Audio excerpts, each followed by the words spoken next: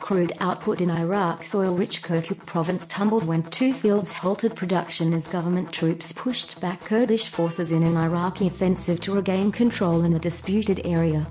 Iraq regained control of all oil fields and other energy facilities in Kirkuk, including Bai Hassan and Avana fields, the oil ministry said Tuesday in a statement. It called for cooperation to keep oil exports flowing from the northern part of the country. The Kurdish KAR group had stopped pumping crude at Avana and Bai Hassan after technicians failed to report for work and security guards left amid the fighting an official at the central government-run North Oil Corporation said Monday, without specifying how much oil the fields were producing before the halt. While the KAR group operates the fields, National Oil Corporation staff work with the Kurds at both sites, the official said, asking not to be identified because they're not authorized to speak to the media. The halt could affect 275,000 barrel per day in output, according to estimates compiled by Bloomberg. Kirkuk's oil fields export through a Kurdish-controlled pipeline to Turkey. The Turkish port of Ceyhan received crude from northern Iraq and the semi-autonomous Kurdish region at a pumping rate of 510,000 barrel per day on Tuesday, down from 600,000 on Monday, according to a port agent who asked not to be identified because the information isn't public. Kirkuk, home to Iraq's oldest producing oil fields, is a tinderbox in the power struggle between the central government in Baghdad and the Kurdistan regional government. Tensions in the northern province erupted into outright hostilities between the central government and the KRG on Monday following a Kurdish referendum on independence from Iraq. The Kurdistan regional government included Kirkuk in the September 25 referendum despite competing claims to the ethnically mixed area, which lies outside the boundaries of the Kurdistan regional government-ruled Kurdish region. Given the political issues facing the Kurds, there's always a lingering question mark over their level of exports. There's still a remaining threat of some sort of interruption.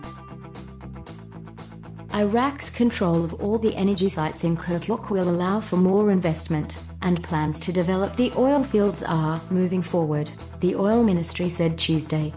Iraqi forces on Monday seized the headquarters of Kirkuk's provincial administration, as the government in Baghdad escalated its efforts to block the creation of a Kurdish state in the country's north.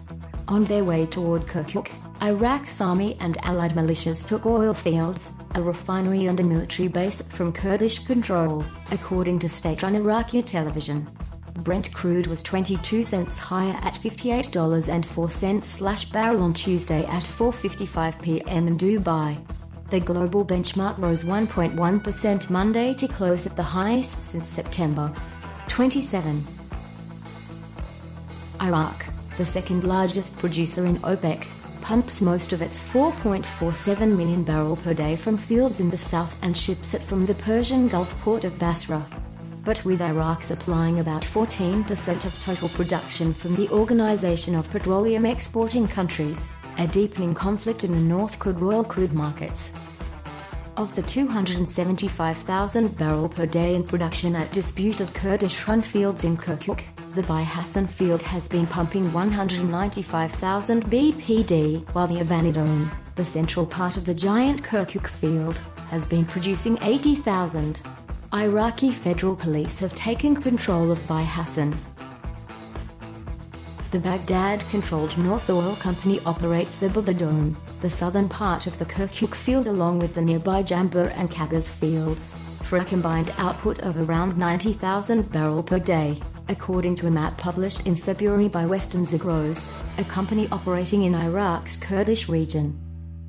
Baghdad piggybacks its exports from Kirkuk with Kurdish shipment through the Kurdistan Regional Government-run pipeline to Turkey, which runs to the Mediterranean port of Ceyhan. Kirkuk's fields and deposits in the Kurdish region were exporting about 600,000 barrel per day through the pipeline, a person familiar with the matter said on Monday. Oil was still flowing through the export link, the Kurdistan Regional Government's Ministry of Natural Resources said later in the day on Twitter. The latest hostilities flared after the central government and the Kurdistan regional government combined forces to expel Islamic State militants from most of northern Iraq earlier this year. Kurdish fighters occupied much of Kirkuk province in June 2014, after Iraqi troops fled ahead of militants advancing at the time into the area. Baghdad refuses to recognize Kurdish control of Kirkuk. To get faster updates and the latest news from the oil and gas industry, please subscribe to the YouTube new video channel and connect with us on Facebook, Twitter or LinkedIn.